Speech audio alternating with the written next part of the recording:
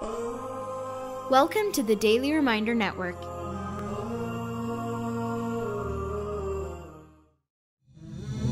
Sunnah Revival by Sheikh Muiz Bukhary. Sunnah of Unwavering Optimism.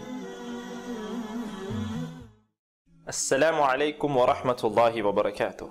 This is Muiz Bukhary recording for the Daily Reminder Network. My dear brothers and sisters in Islam, have you heard of the glass half full approach? Say for example, if there was a glass half full of liquid, there are two ways to describe this particular glass. One is that you can say it is half full or you can say that it is half empty. Now to describe it as half full is the approach of an optimist. And this optimist looks at almost every single thing in his life from a positive angle. On the other hand, to describe it as half empty, now that is the approach of a pessimist. And this pessimist looks at almost every single thing in his or her life from a negative angle. The sunnah that we hope to revive, inshallah ta'ala, in today's episode is the amazing optimistic nature of our beloved Prophet Muhammad sallallahu alaihi wasallam. If one were to go through the life of the Prophet Muhammad sallallahu alaihi wasallam, he or she cannot help but attest to the fact that he sallallahu alaihi wasallam was the greatest optimist to ever walk on the face of this earth. Allahu Akbar. Look at the amount of trials and calamities he went through. From being chased and boycotted by his own people to being stoned by the people of Ta'if. Allahu Akbar. He sallallahu alaihi wasallam went through so many calamities but his spirits never ever wavered. He continued. He pursued his mission with will and determination. This is exactly how we need to face our problems and our trials. We need to become strong rocks of perseverance that do not absorb any form of negativity whatsoever. We as believers, we need to be able to look at everything from a positive angle. For Allah Azza wa Jal, He is sufficient for us. Hasbunallahu wa ni'mal wakil. Allah subhanahu wa ta'ala is sufficient for us and He is the best disposer of our affairs. Remember the time when our Prophet Muhammad sallallahu alaihi wasallam and his companion Abu Bakr radiallahu an, they were migrating from Mecca to Medina. The enemy soldiers were behind them. They were chasing them and Rasulullah sallallahu alaihi wasallam and Abu Bakr radiallahu an, they hide in a particular cave.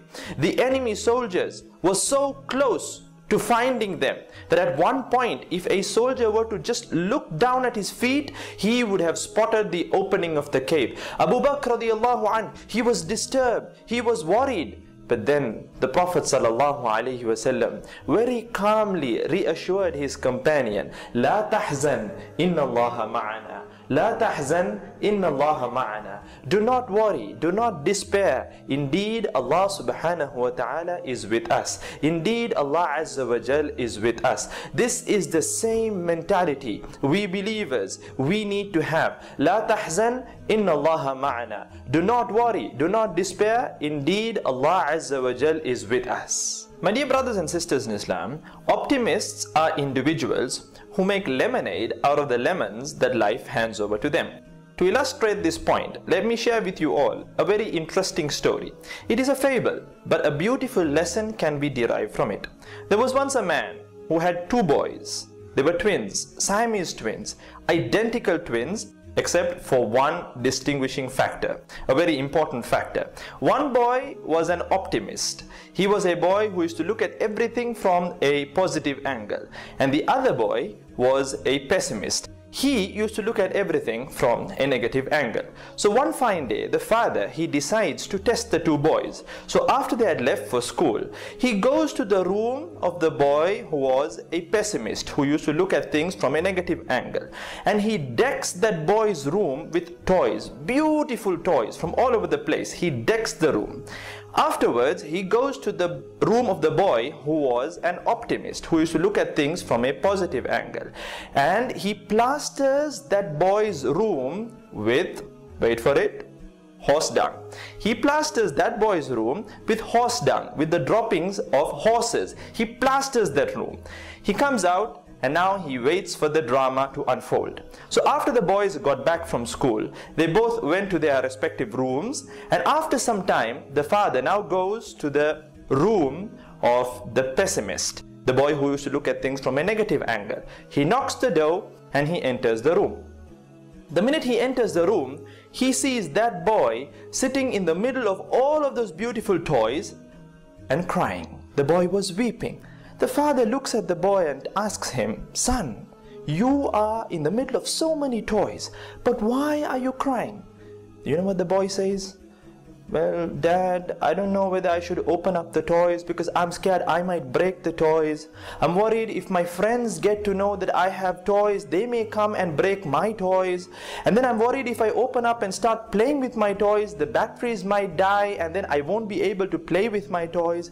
He starts to complain, whine, and grumble. The father, he smiles and then goes to the room of the optimist. He knocks the door, he enters the room. Allahu Akbar. The boy is beaming away. He is in a room plastered with dung and he has found a shovel and he is digging away too. The father was very amused. He asks the son, my dear son, you are in a room full of horse dung, but you are beaming, you are smiling away, and you're digging. Why are you digging? Please tell me. The boy looks at the father and says, You know what, dad? If there's so much of horse dung here, I'm sure I'm sure there's bound to be a pony and that's what I'm searching for the pony. Allahu Akbar. So you see, if you look at things from a positive angle, my dear brothers and sisters in Islam, it can bring about a world of change in your lives. So please shift your perspective from negative to positive and you will see a world of changes. You will be able to see the light at the end of the tunnel. And remember, لا تحزن إن الله معنا La tahzan inna Allah ma'ana. Do not worry, do not despair. Indeed, Allah subhanahu wa ta'ala is with us. Please don't forget to share this video around as much as possible to inspire an amazing sunnah revival and also to fill others with positive thoughts and optimism. Jazakumullah khair wa akhir da'wayan alhamdulillahi rabbil alameen. Wassalamu alaikum wa rahmatullahi wa barakatuh. Support the dawah Donate now go to thedailyreminder.org slash donate.